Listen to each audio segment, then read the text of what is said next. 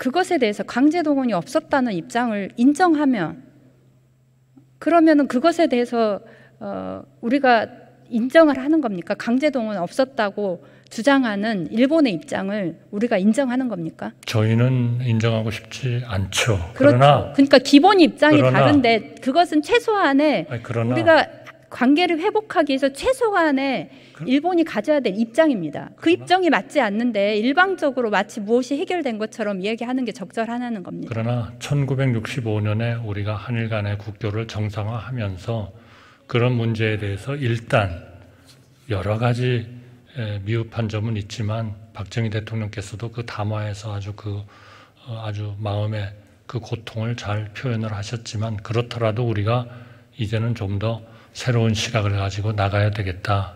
그리고 우리가 아, 정말 주체 의식을 가지고 잘 해나가자. 뭐 이런 말씀을 하신 거와 그런 것들이 총리님, 다 연, 일본 정부하고. 공유하는 보편적 가치가 뭡니까?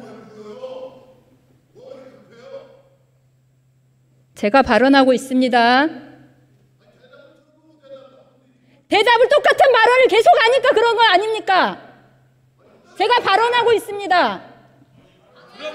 네, 이야기하십시오. 총리님, 일본 정부와 공유하고 있는 보편적 가치가 대대체 무엇입니까?